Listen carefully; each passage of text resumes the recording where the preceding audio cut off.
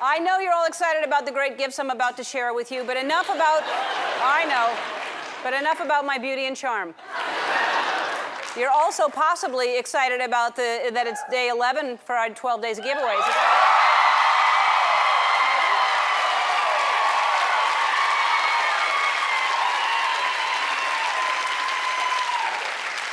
So, uh, later on, okay? Later on.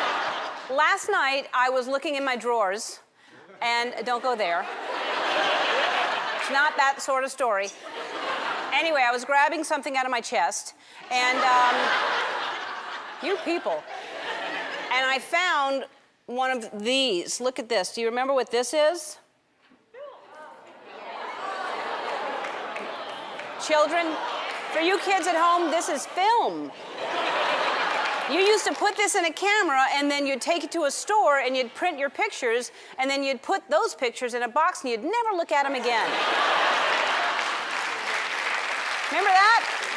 I found this. I don't even know what's in here, but have you tried to develop film recently? It's, it, it's impossible. I asked Siri to find me the closest one hour photo.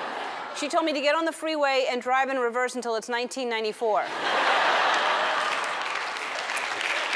so,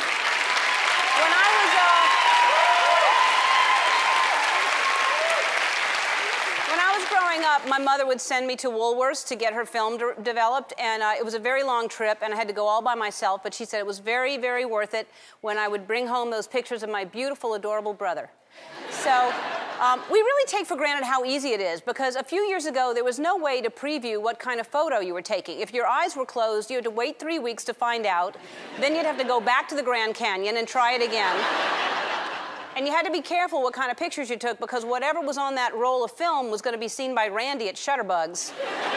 the same Randy who was always encouraging you to take another trip to Jamaica.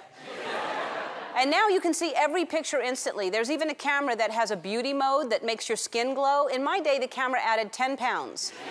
And in the 80s, my camera added 10 pounds and a mullet. I don't know how, just did it.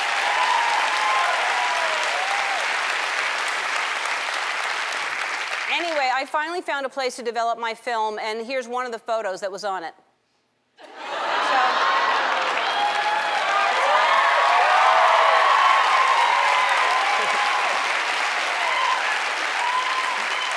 So the moral of the story is if you find old film, don't get it developed. and if you can still remember how to do it, let's shake it like a Polaroid picture and dance.